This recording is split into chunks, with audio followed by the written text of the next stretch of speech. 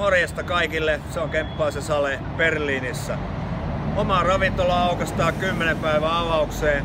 Takana kuuluu paljon trafikkiä. Kydammi on siinä takana. Ja siellä on savuloko ylhäällä jo 10 päivää avaukseen. Mennään katsoa miltä näyttää.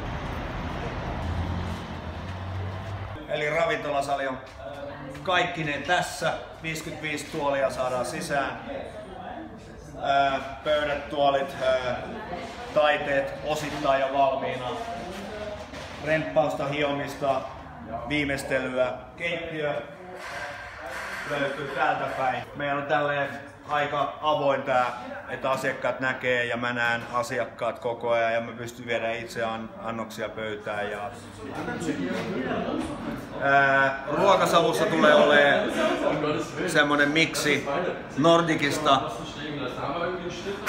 Espanjasta, Italiasta. Eli 50 prosenttia aina pohjoista raaka-ainetta tai ideaa tai jotakin tekotapaa ja sitten yksi neljännes ja yksi neljännes Espanja ja Italia mukaan. Yksi jälkiruoka mulla on esimerkiksi äh, espanjalaista sinihomejuustosta tehty jälkkäri ja sen kanssa tarjotaan muuten lakritsia. Se löytyy muuten nyt täältä. Suomalaista iso pepe lakua. Tää menee yhteen sinihomejuuston kanssa Espanjasta. Kiitos Seiska näistä.